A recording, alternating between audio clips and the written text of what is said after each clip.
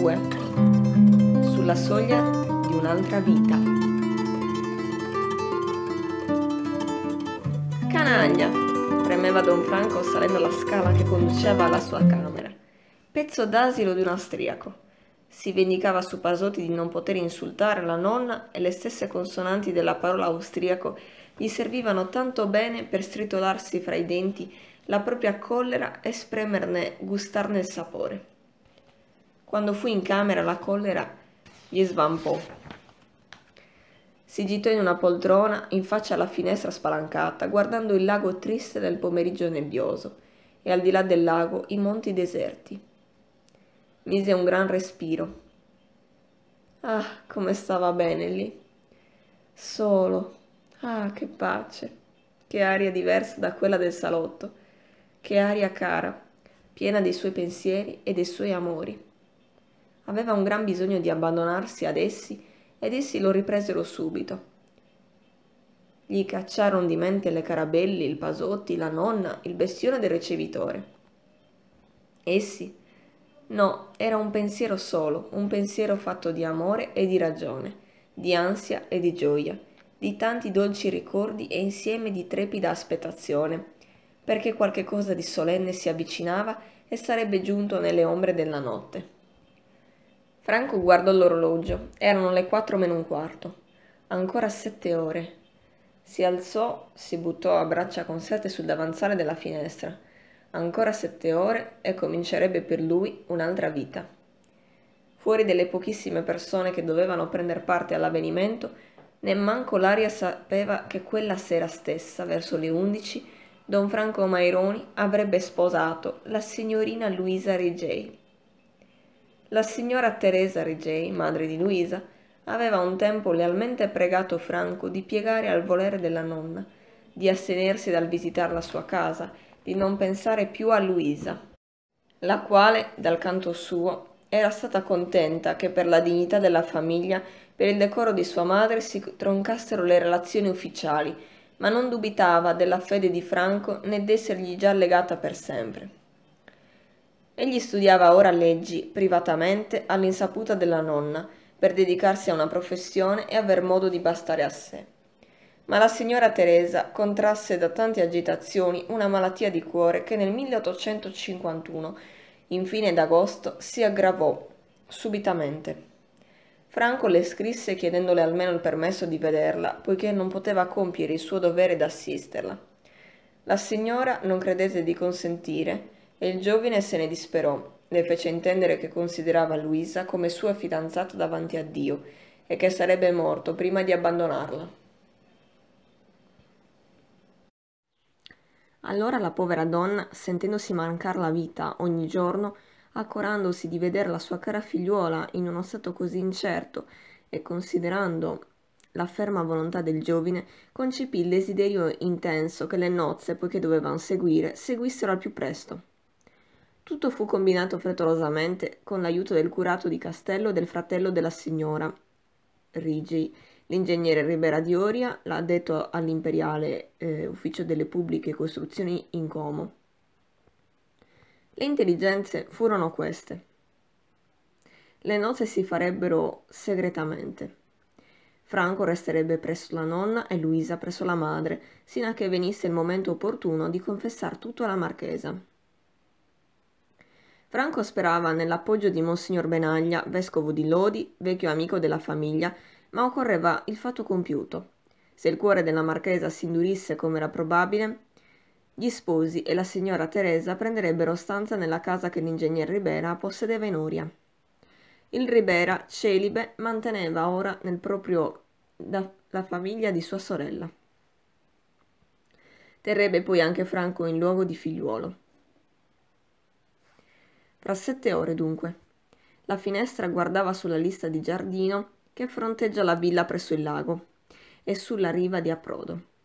Nei primi tempi del suo amore, Franco stava lì a spiare il venire e l'approdare di una certa barca, l'uscirne di una personcina snella, leggera come l'aria, che mai, mai non guardava su alla finestra. Ma poi, un giorno, egli era disceso a incontrarla ed ella aveva aspettato un momento ad uscire per accettare l'aiuto ben inutile, della sua mano. Lì sotto, nel giardino, egli le aveva dato per la prima volta un fiore, un profumato fiore di Mandevilias da Svaveolens. Lì sotto si era un'altra volta ferito con un temperino, abbastanza seriamente, tagliando per lei un ramoscello di rosaio, ed ella gli aveva dato, col suo turbamento, un delizioso segno del suo amore. Quante gite con lei e altri amici, prima che la nonna sapesse, alle rive solitarie del monte Bisnago, là in faccia, quante colazioni e merende a quella cantina del Doi. Con quanta dolcezza viva nel cuore di sguardi incontrati, Franco tornava a casa e si chiudeva nella sua stanza a richiamarseli, a esaltarsene nella memoria. Quante prime emozioni dell'amore gli ritornavano adesso in mente, non ad una ad una, ma tutte insieme, dalle acque e dalle rive tristi, dove gli occhi suoi fissi parevano smarrirsi, piuttosto che nelle ombre del passato che nelle nebbie del presente. Vicino alla meta, egli pensava ai primi passi nella lunga via,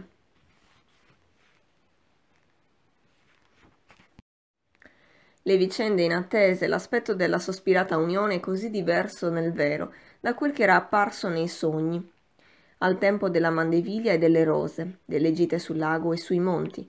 Non sospettava certo allora di dovervi arrivare così di nascosto fra tante difficoltà, fra tante angustie.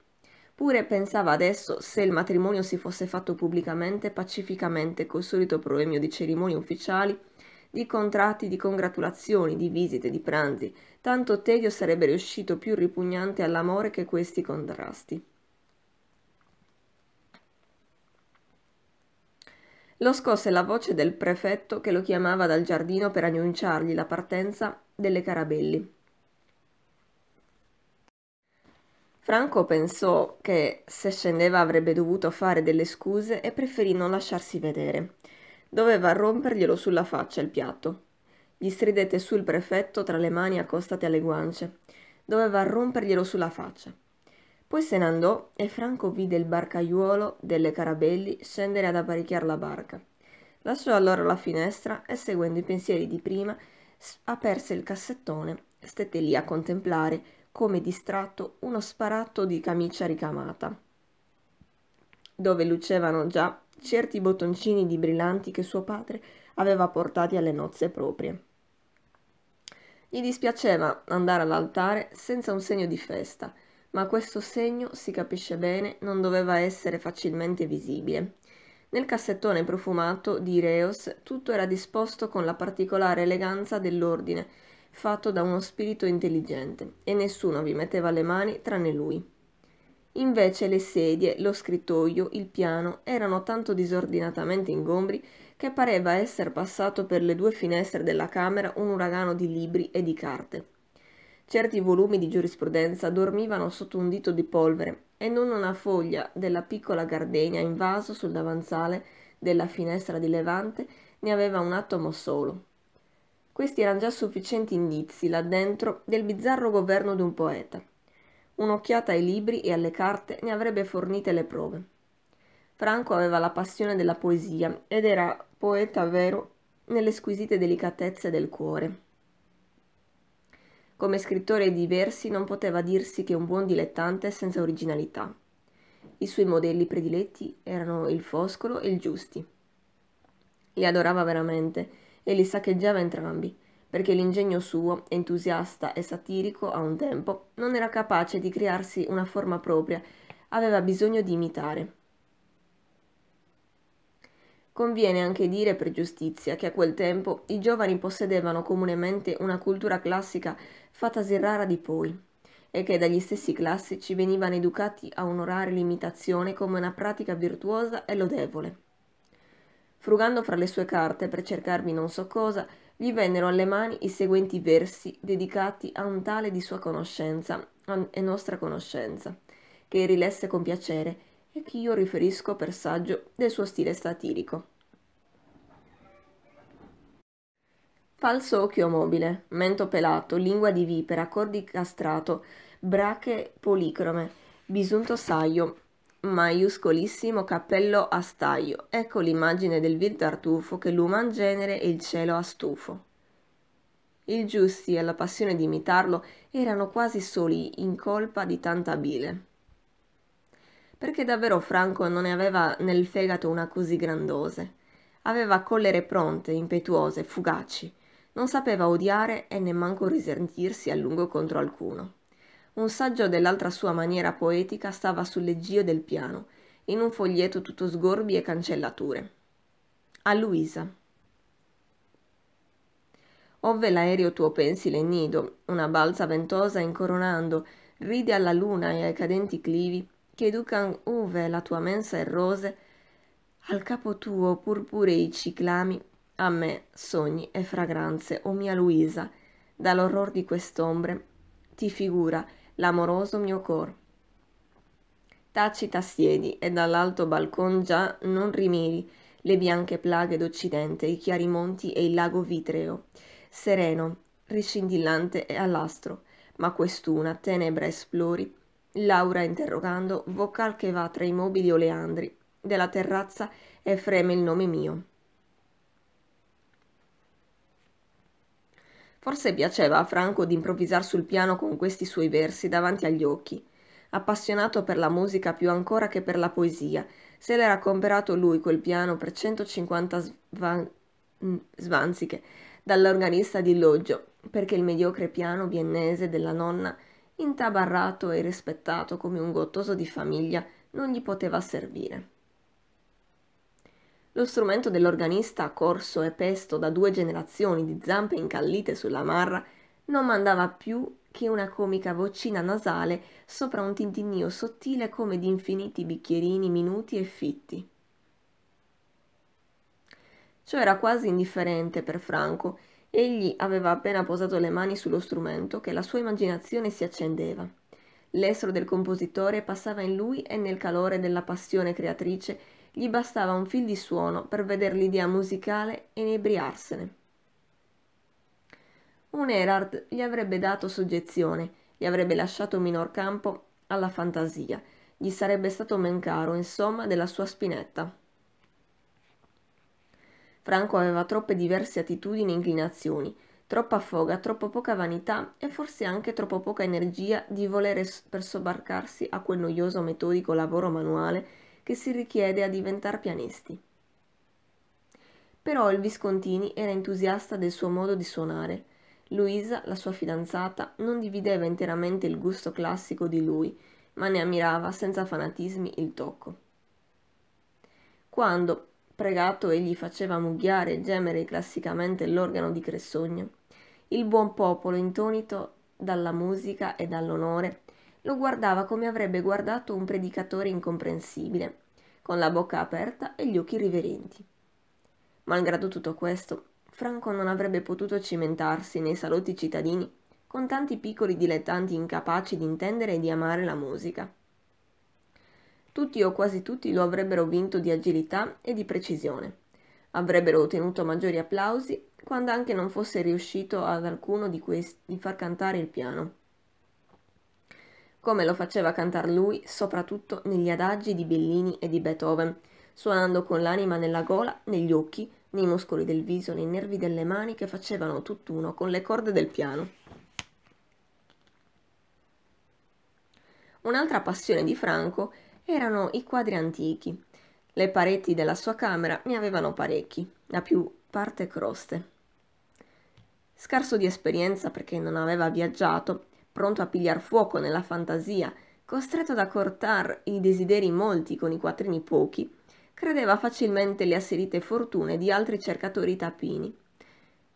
N'era spesso infocato, accecato e precipitato su certi cenci sporchi che, se costavano poco, valevano meno. Non possedeva di passabile che una testa d'uomo della maniera del morone e una Madonna col bambino della maniera del dolci.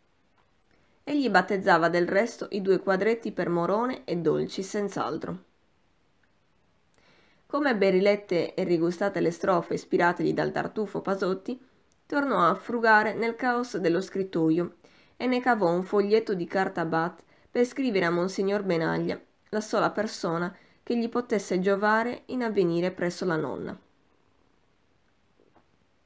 Gli parve doverlo mettere a parte dell'atto che stava per compiere, delle ragioni che avevano consigliato la sua fidanzata e lui di addivenirvi in questo modo penoso, della speranza che avevano d'essere aiutati da lui quando venisse il momento di aprir tutto alla nonna. Stava ancora pensando, con la penna in mano, davanti alla carta bianca, quando la barca delle Carabelli passò sotto la sua finestra. Poco dopo udì partire la gondola del marchese e la barca del Pin. Suppose che la nonna, rimasta sola, lo facesse chiamare, ma non ne fu nulla.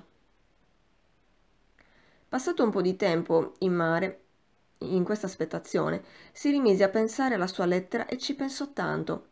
Rifece l'esordio tante volte e procedette anche poi, tanto adagio, con tanti pentimenti, che la lettera non era ancora finita quando gli convenne accendere il lume.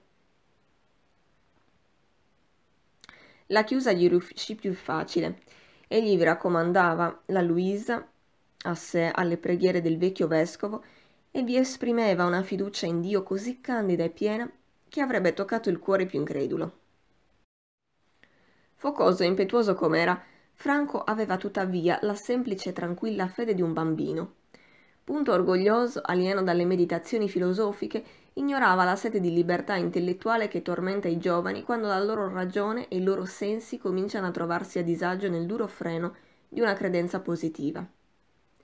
Non aveva dubitato un istante della sua religione, ne eseguiva scrupolosamente le pratiche senza domandarsi mai se fosse ragionevole di credere e di operare così. Non teneva però affatto del mistico né dell'asceta spirito caldo e poetico, ma nello stesso tempo chiaro ed esatto, appassionato per la natura e per l'arte, preso da tutti gli aspetti piacevoli della vita, rifuggiva naturalmente dal misticismo. Non s'era conquistata la fede e non aveva mai volti lungamente a lei tutti i suoi pensieri, non aveva potuto esserne penetrato in tutti i suoi sentimenti. La religione era per lui come la scienza per uno sco- scolaro diligente che ha la scuola in cima dei suoi pensieri e via assiduo, non trova pace se non ha fatto i suoi compiti, se non si è preparato alle ripetizioni, ma poi, quando ha compiuto il proprio dovere, non pensa più al professore né ai libri, non sente il bisogno di regolarsi ancora secondo fini scientifici o programmi scolastici.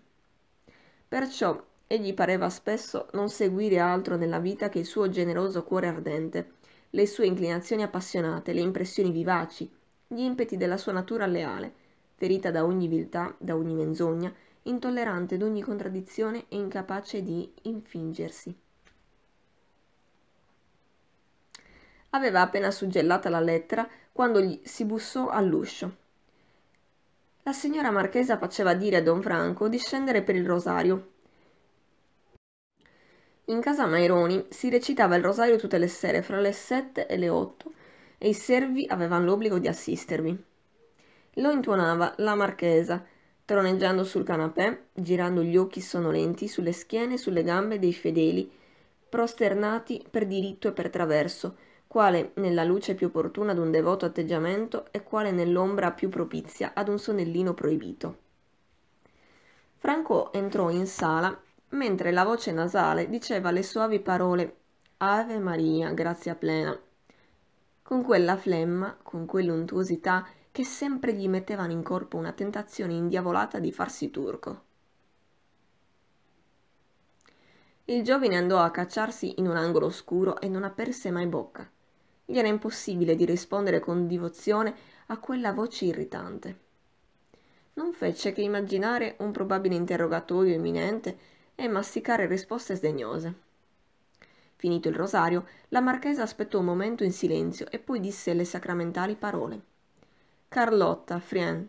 Carlotta, la vecchia cameriera, aveva l'incarico di pigliare, finito il rosario, Frien in braccio e di portarlo a dormire. E qui, signora marchesa, disse Carlotta.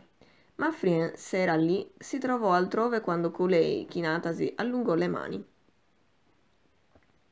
Era di buon umore quella sera il vecchio Frien e gli piacque di giocare a non lasciarsi prendere, provocando Carlotta, sgusciandole sempre di mano, scappando sotto il piano o sotto il tavolino a guardar con un ironico scodinzolamento la povera donna che gli diceva Ven cara, ven cara, con la bocca e Brut Moster con il cuore.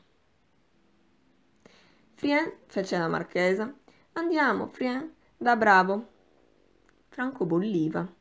Venutogli fra le gambe l'antipatico mostricino infetto dell'egoismo e della superbia della sua padrona, lo scosse da sé, lo fece ruzzolare tra le unghie di Carlotta, che gli diede per proprio conto una rabbiosa stretta e se lo portò via rispondendo perfidamente ai suoi guaiti. Cosa t'han fatto? Poer Frien, cosa t'han fatto? Di su! La marchesa non disse parola, né il suo viso marmoreo tradì il suo cuore. Diede al cameriere l'ordine di dire al prefetto della caravina, se venisse, e anche a qualsiasi altro che la padrona era andata a letto. Franco si mosse per uscire anche lui dietro ai servi, ma si trattenne subito onde non aver l'aria di fuggire. Prese sulla caminiera un numero della Gazzetta di Milano. Sedette presso sua nonna e si mise a leggere aspettando. Mi congratulo tanto, cominciò subito la voce sonnacchiosa, della bella educazione e dei bei sentimenti che ci avete fatto vedere oggi. Accetto, rispose Franco, senza levar gli occhi dal giornale. Bene, caro, replicò la nonna imperturbata, e soggiunse. Ho piacere che quella signorina vi abbia conosciuto, così, se mai sapeva di qualche progetto, sarà ben contenta che non se ne parli più. Contenti tutti e due, disse Franco. Voi non sapete niente affatto se sarete contento. Specialmente se avete ancora le idee di una volta. Udito questo, Franco posò il giornale e guardò la nonna in faccia. Cosa succederebbe, diss'egli, se avesse ancora le idee di una volta? Non parlò stavolta in tono di sfida, ma con serietà tranquilla. Ecco, bravo, rispose la marchesa, spieghiamoci chiaro. Spero e credo bene che un certo caso non succederà mai, ma se succedesse, non state a credere che alla mia morte ci sarà qualche cosa per voi, perché io ho già pensato in modo che non ci sarà niente. Figurati, fece il giovine, indifferente. Questi sono i conti che dovete fare con me, proseguì la marchesa. Poi ci sarebbero quelli da fare con Dio. Come? esclamò Franco. I conti con Dio li farò prima che con te e non dopo. Quando la marchesa era colta in fallo, tirava sempre diritto nel suo discorso come se niente fosse. E grossi, disse ella. Ma prima, insiste Franco. Perché, eh, continuò la vecchia formidabile, se si è cristiani si ha il dovere d'obbedire a suo padre e a sua madre, e io rappresento vostro padre e vostra madre. Se l'uno era tenace, l'altro non era meno. Ma Dio vien prima, disse egli. La marchesa suonò il campanello e chiuse la discussione così. Adesso siamo intesi. Si alzò dal canapè all'entrar della Carlotta e disse placidamente Buonanotte. Franco rispose buonanotte e riprese la Gazzetta di Milano. Appena uscita la nonna, gettò via il foglio, strinse i pugni, si sfogò senza parole, con un furibondo sbuffo, e saltò in piedi dicendo forte: Ah, meglio, meglio, meglio, meglio così. Fremeva in sé, meglio non condurla mai, la mia Luisa, in questa maledetta casa. Meglio non farle soffrir mai questo impero, questa superbia, questa voce, questo viso. Meglio vivere di pane e d'acqua e aspettare il resto da qualunque lavoro cane piuttosto che dalle mani della nonna. Meglio far l'ortolano, maledetto sia fare il barcaiuolo, fare il carbonaio.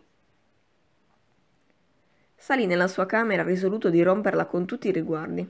I conti con Dio? esclamò sbattendosi l'uscio dietro.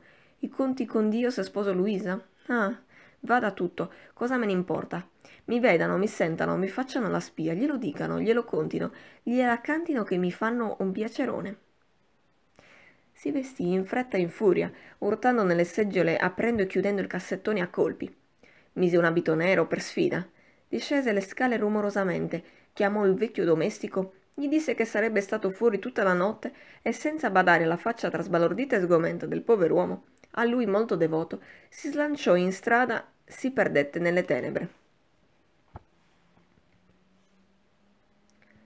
Egli era fuori da due o tre minuti quando la marchesa, già coricata, mandò Carlotta a vedere chi fosse venuto giù correndo dalle scale.